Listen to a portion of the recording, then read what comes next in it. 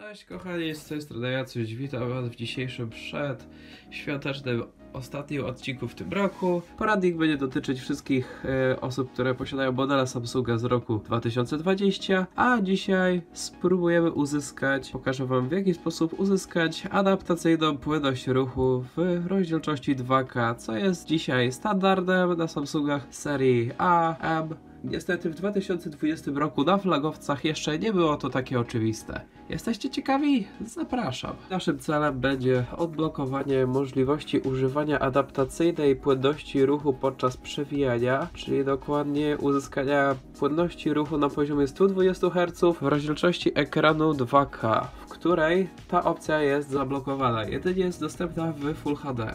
Z góry przepraszam, jeżeli komuś będzie przeszkadzać, że mam zatkany nos, ale cóż czas chorobowy. W rozdzielczości 2K w Samsungach z serii S20 oraz Note 20, jeżeli komukolwiek to się przyda. Jeżeli byście chcieli w rozdzielczości 2K uzyskać płynność ruchu na poziomie 120 Hz, która jest dostępna tylko i wyłącznie dla serii S20, 20 Plus oraz Note 20 przy Full HD, to ten odcinek jest dla Was i może być bardzo ciekawy.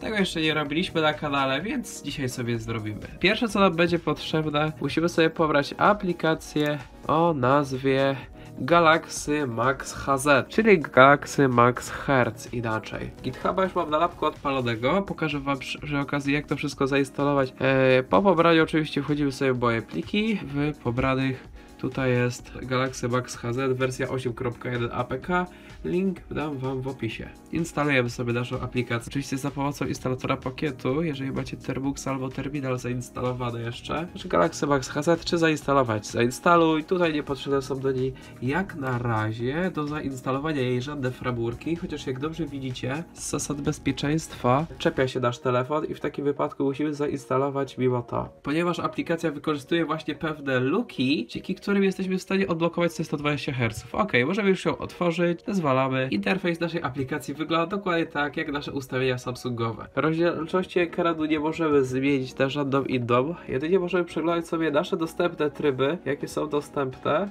dla trybu wyświetlania, lecz nie możemy ani zmienić rozdzielczości ekranu, ani skrótu szybkich ustawień, ani nawet trybu z adaptacyjnego na wysoki. Nie możemy zrobić kompletnie nic, ale naszą aplikację już mamy zainstalowaną.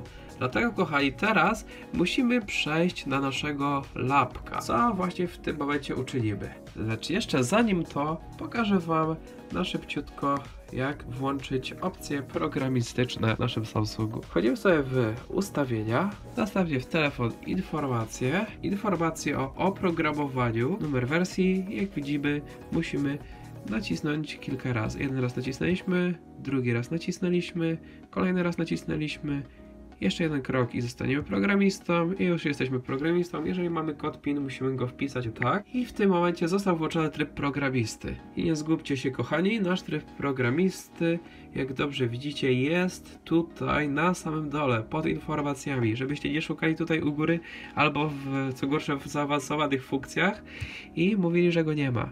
I w opcjach programisty włączamy debugowanie USB. Spokojnie, uprzedzam Wasze pytanie, później będziemy mogli je wyłączyć włącznie z, łącznie z ustawieniami programisty. To jest tylko tymczasowe. Zezwalamy. I uprzedzam Wasze pytanie, tej, ta opcja nie będzie nam potrzebna dzisiaj. Dobra. Dobra, kochani, dawno się tutaj nie widzieliśmy. Co musimy zrobić? Jeszcze podłączamy naszego Samsunga pod USB w tym momencie. I w tym momencie, kochani, będzie nam potrzebny pakiet ADB, to żebyście od razu sobie wypakowali do folderu CADB, żeby nie było najmniejszych problemów. I z włączonym debugowaniem USB i z podłączonym telefonem na USB wpisujemy naszą komendę pierwszą ADB Devices sprawdzając, czy nasz telefon jest prawidłowo wykrywany, ale jak dobrze widzicie, jeżeli tutaj popełniliście błąd, taki jak ja, nie przełączyliście się jeszcze do ścieżki ADB. Więc najpierw przełączamy się do ścieżki ADB, C, dwukropek, backslash, C, e, ADB. Teraz tak, powtarzamy naszą komendę. Komenda już działa, jak dobrze widzicie. Tutaj można popełnić błąd. Dobra, demon szuka naszego telefonu, znalazł, tu jest nasz numer seryjny, device. E, w waszym wypadku zamiast device może być not authenticated, wtedy wam się na ekranie pojawi okienko, e, na którym będziecie musieli wcisnąć allow lub też zezwalaj na połączenie. Ja już to robiłem wcześniej, a więc Kliknąłem zawsze zezwalaj, żeby mieć po prostu spokój.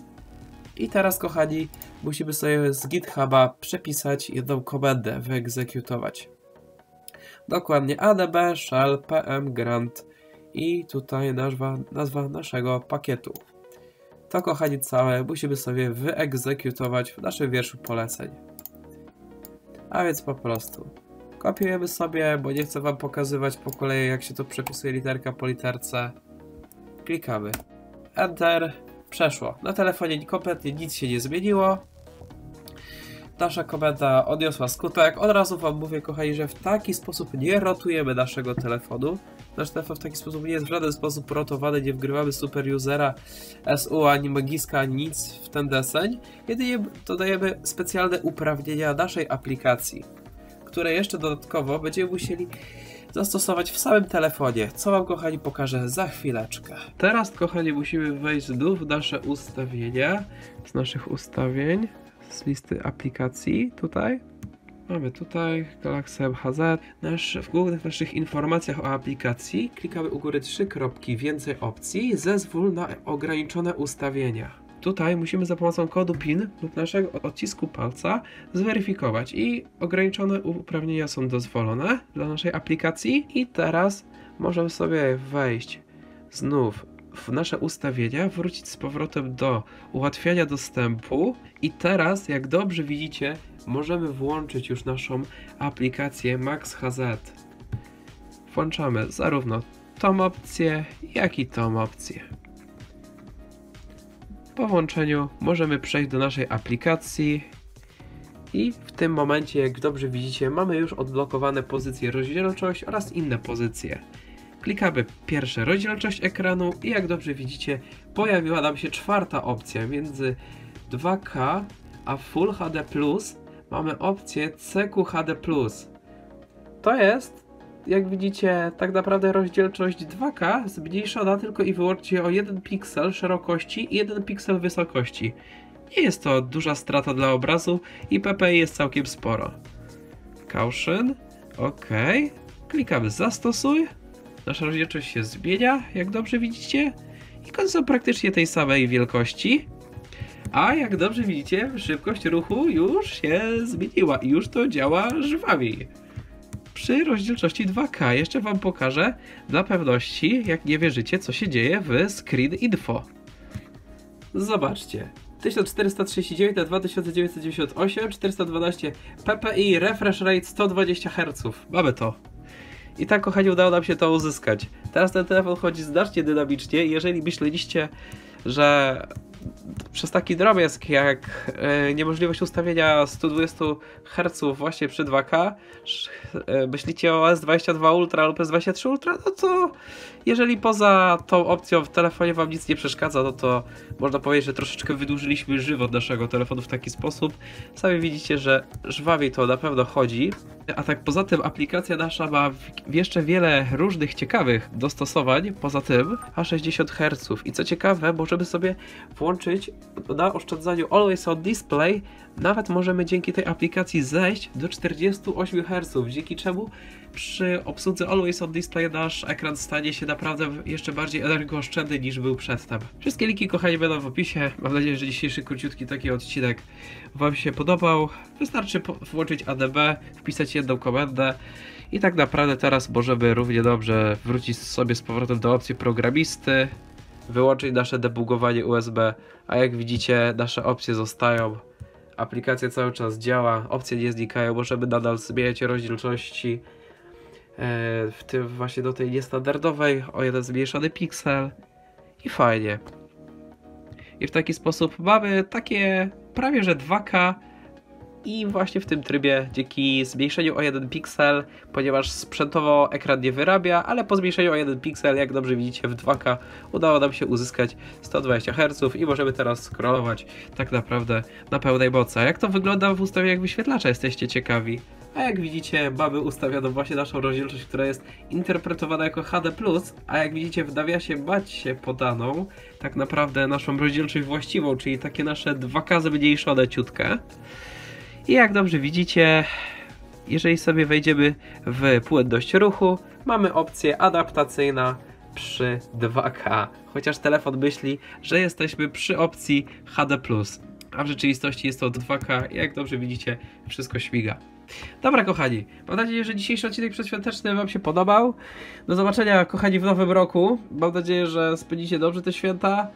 Jak i nowy rok, chociaż jeszcze pewnie w nowym roku raczej się zobaczymy. I to raczej będzie u mnie z balkonu. Tym razem, bo tam nie byliśmy, chyba od 2021 roku. Także, cóż, kochani, pozostaje mi Wam życzyć zdrowych, spokojnych świąt, bez stresów, zapomnijcie trochę o tej szkole. Czarnek wyleciał, po nowym roku wszystko się zmieni na lepsze. Bądźmy dobrej myśli, ja też jestem dobrej myśli. Że ten nowy rok wspólnie zaczniemy w spokoju i dobrze, tak jak trzeba. To kochani ode mnie byłoby na tyle. Do zobaczenia do kolejnego odcinka. Trzymajcie się. No i cześć.